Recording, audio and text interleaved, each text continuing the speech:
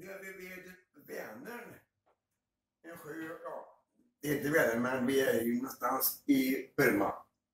Någonstans ute fan vart vi är med. Och så här bor vi nu. Jag och min bästa vän Heresito. Han är så jävla bra. Det blir lite bra. Vi hänger ut två nätter. Gör bra. Very good.